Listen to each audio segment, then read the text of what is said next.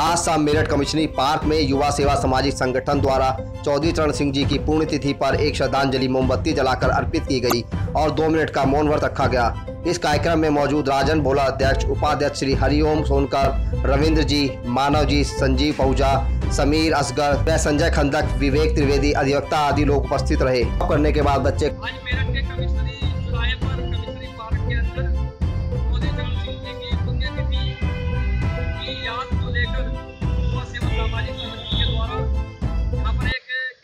Candle जलाकर उन्हें भावभीनी श्रद्धांजलि हम लोग अर्पित कर रहे हैं और ईश्वर से प्रार्थना करते हैं कि जहाँ भी है उन्हें अपने चरणों में स्थान दे। चौधरी चरण सिंह। चौधरी चरण सिंह।